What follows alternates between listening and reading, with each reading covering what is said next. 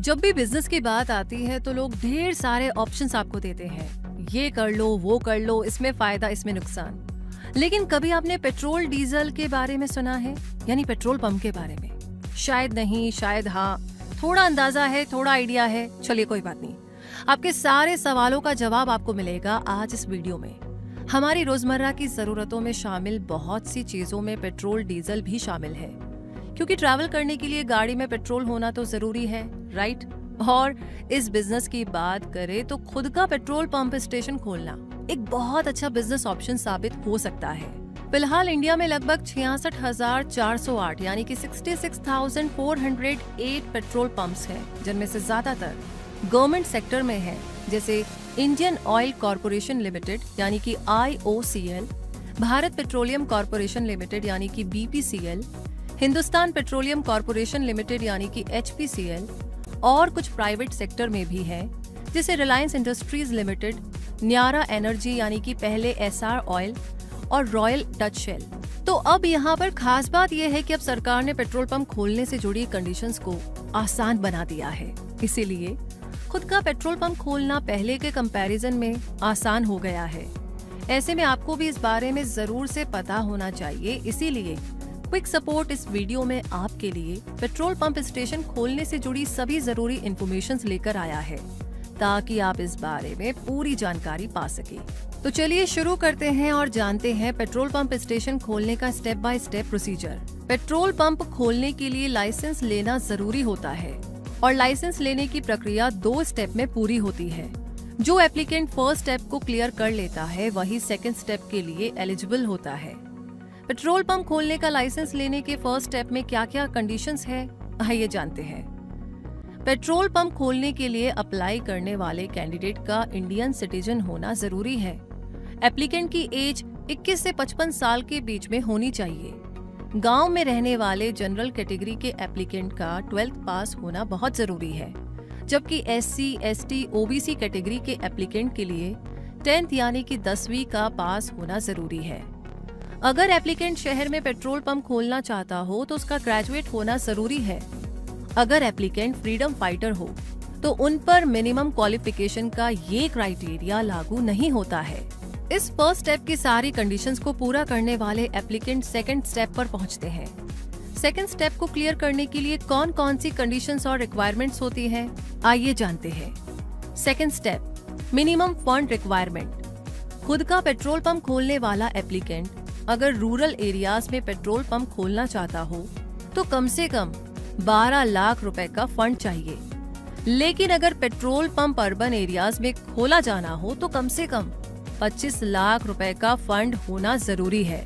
ये fund cash और jewellery के अलावा bonds, mutual funds, national saving certificate जैसी कई फॉर्म्स में हो सकता है। लैंड रिक्वायरमेंट की अगर बात करें तो पेट्रोल पंप खोलने के लिए लैंड की रिक्वायरमेंट एक बहुत ही इम्पोर्टेंट पॉइंट होता है। और पेट्रोल पंप डीलर्स का सिलेक्शन करने में ये क्राइटेरिया बहुत इम्पोर्टेंट होता है। इसके लिए एप्लीकेंट के पास पेट्रोल पंप खोलने के लिए खुद की ज़मीन होनी चाहिए, या फिर मिनिमम टाइम पीरियड के लिए लैंड लीज पर ली गई होनी चाहिए। लैंड की लोकेशन भी बहुत मैटर करती है, क्योंकि generally oil companies state highway national highways और बिज़ी मार्केट एरियाज़ में पेट्रोल पंप ओपन करना ही प्रेफर करती है। इसीलिए ज़मीन की लोकेशन परफेक्ट होनी भी ज़रूरी है। वैसे पेट्रोल पंप खोलने के लिए हाईवे पर 800 से 1200 स्क्वायर मीटर लैंड की ज़रूरत होती है। इस बात का ध्यान रखें। और आगे अगर हम एप्लीकेशन फ़ीस की बात करें तो पेट्रोल पंप खोलने के लिए रेगुलर रिटेल आउटलेट्स के लिए एप्लीकेशन फ़ीस एक हज़ार रूपए होती है। जबकि रूरल रिटेल आउटलेट्स के लिए सौ रूपए होती है। एस सी कैटेगरी के कैंडिडेट्स को इसमें 50 प्रतिशत यानी कि 50 परसेंट कंसेशन भी मिल सकता है। अगर पेट्रोल पंप के लिए रिक्वायर्ड लैंड डीलर की हो तो एप्लीकेंट को रेगुलर रिटेल आउटलेट्स के लिए 15 लाख रुपए नॉन रिफंडेबल फिक्स फ़ी जमा करानी होती है। और रूरल रिटेल आउटलेट्स के लिए ये अमाउंट पाँच लाख रुपए होता है।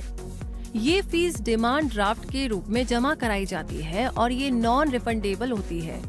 वैसे यहाँ पर एक और इम्पोर्टेंट बात जानना बहुत ज़रूरी है कि एक एप्लीकेंट केवल एक ही लोकेशन के लिए अप्लाई कर सकता है। एप्लीकेशन फ़ीस जमा कराने के अलावा लाइसेंस फ़ीस भी सबमिट करनी होती है। और अब ये जानने की बारी है कि पेट्रोल पंप डीलरशिप पाने के लिए कैसे अप्लाई किया जाए। आइए जानते हैं। सबसे पहले एप्लीकेंट को ऑयल मार्केटिंग कंपनी की वेबसाइट पर पब्लिश एड को चेक करना होगा। ये एड न्यूज़पेपर में भी देखे जा सकते हैं। इसके बाद पेट्रोल पंप खोलने के लिए ज़रूरी लाइसेंस के लिए ऑनलाइन अप्लाई करना होगा।